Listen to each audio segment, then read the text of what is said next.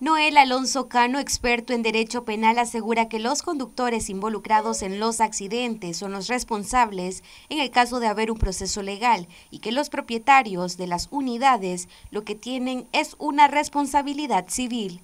Cuando, cuando ocurre un accidente de tránsito en donde se ve involucrado una unidad de transporte colectivo, la persona que conduce el vehículo, en este caso el conductor, esa persona desde el punto de vista penal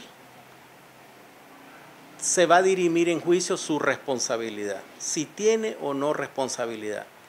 Si concluye el juicio y se dice de que tiene responsabilidad, obviamente va a haber una condena en contra de esta persona. El dueño del automóvil o del vehículo, en este caso el bus de, de transporte colectivo, no tiene responsabilidad penal una responsabilidad civil solidaria, se llama.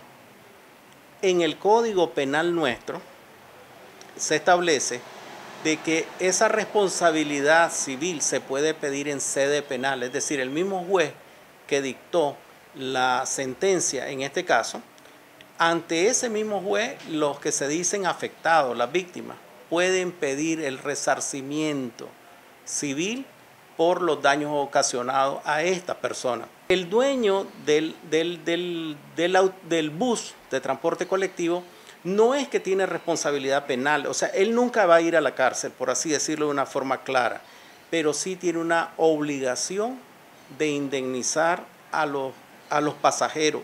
Cano añade que los legisladores deberían establecer una reforma a la ley de seguros para que los montos de los vehículos con grandes capacidades de pasajeros sean mayores y así poder responder a las víctimas. Que a mi juicio hay un hueco en la legislación que tiene que ver con los seguros. ¿Qué sucede? Estos buses tienen seguro, al igual que el resto de vehículos, seguros que cubren hasta 5 mil dólares. Eso significa que los 5 mil dólares se van a dividir entre todas las personas que resultaren lesionadas o muertas, caso de los familiares. Entonces imagínese lo irrisorio que va a resultar repartir 5 mil dólares entre 19 familiares eh, eh, que resultaron muertos, sus su, su, deudos. Y las personas lesionadas también tendrían derecho a ser indemnizados. Es decir, sería un, una suma excesivamente ridícula a la que tendrían derecho, que conforme la legislación les corresponde que se los entregue. Eso debería motivar, a mi entender, a los legisladores a establecer una reforma a la ley de seguro en donde se establezca de que los montos en los casos de vehículos que llevan una cantidad considerable de pasajeros debería ser, el monto de cobertura del seguro debería ser mayor. Para Noticias 12, Gabriela Solórzano.